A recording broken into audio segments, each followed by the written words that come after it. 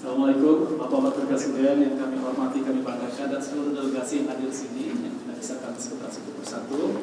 Alhamdulillah kami dari lain ingin sedikit memberikan gambaran Bapak Pres apa yang sudah kami siapkan sejauh ini.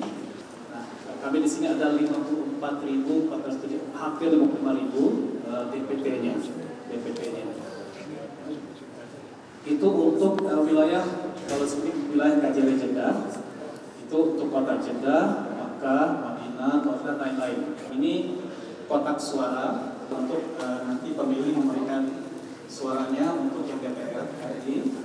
Ada untuk pasangan presiden dan wakil presiden calon di sini nanti uh, dimasukkan kotak suara. Di sini uh, pemilihan pemungutan suara itu diadakan di hari Jumat tanggal 9 Intinya kami berharap di sini penyelenggaraannya lancar, aman, dan insya Allah hasilnya adalah hasil terbaik bagi bangsa dan negara kita.